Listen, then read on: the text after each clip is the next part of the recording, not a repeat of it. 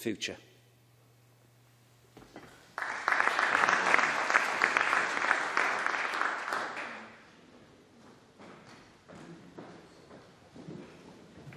Thank you. The next item of business is consideration of Business Motion 10440 in the name of Joe Fitzpatrick on behalf of the Parliamentary Bureau setting out revisions to the business programme for this week.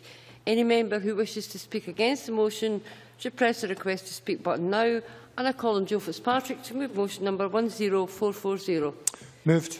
No member has asked to speak against the motion, therefore I now put the question to the Chamber. The question is that motion number 10440 in the name of Joe Fitzpatrick be agreed to. Are we all agreed? The motion is therefore agreed to. The next item of business is topical questions. Question one, Liam MacArthur. Uh, thank you, President Officer. To ask the Scottish Government what its position is on reports that people with serious criminal convictions are teaching in schools. Minister Alasdair Allan. The Scottish Government is determined that appropriate steps are taken to ensure that our children are safe and secure and that parents have confidence in the arrangements in place for safeguarding their children.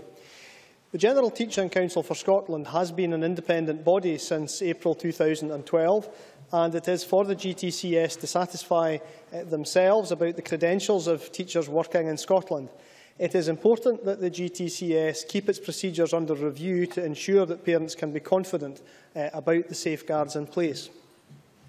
Liam McArthur. Uh, thank you very much and can I thank the Minister for his responses. He'll be aware figures have revealed uh, that around uh, 400 uh, staff since 2007 with a criminal record have been uh, teaching in, uh, in our schools. Now, while a number of those uh, convictions are for uh, offences that have nothing to do with um, the, uh, the, their roles uh, as teachers, there are a number that I think will cause concern amongst parents, pupils uh, and the wider population, some of a sexual nature, uh, some in relation to assault.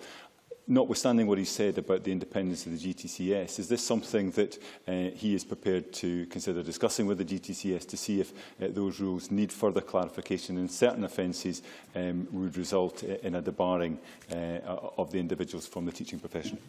Minister.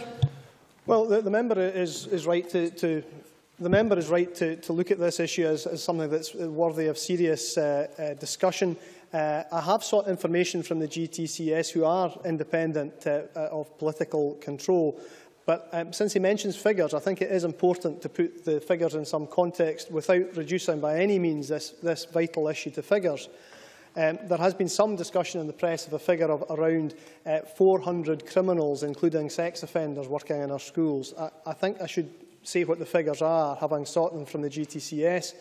Uh, in the year 2011-12, 105 of 113 cases dealt with uh, related to road traffic offences such as speeding, uh, and in 2012-13, uh, 146 of 158 dealt with road traffic offences. Now, I don't wish to trivialise road traffic offences, but uh, I think it is also worth saying that uh, in that two-year period, and it is the only uh, period for which reliable figures exist, there were two uh, that dealt with um, matters relating uh, to sexual uh, convictions. And again, I, I don't trivialise those, but neither of those involved either a child or a non-consenting adult. And one of them, in fact, dealt with uh, an incident in 1966 where the teacher concerned had had sex aged 17 uh, in contravention of what was then the law. So uh, we should take this, uh, this, this whole issue extremely seriously uh, the GTCS does. Uh, but I think it's also important to put those figures in some, in some context.